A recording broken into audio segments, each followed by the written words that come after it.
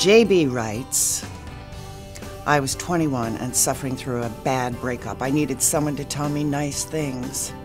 I found myself at a local strip club, tossing rent money at a dancer named Sparkle. She told me she loved my eyes and did this trick with a pat of butter that was a real showstopper. Years later, she turned up in the front row of my English comp class, sans the butter, and her name wasn't really Sparkle.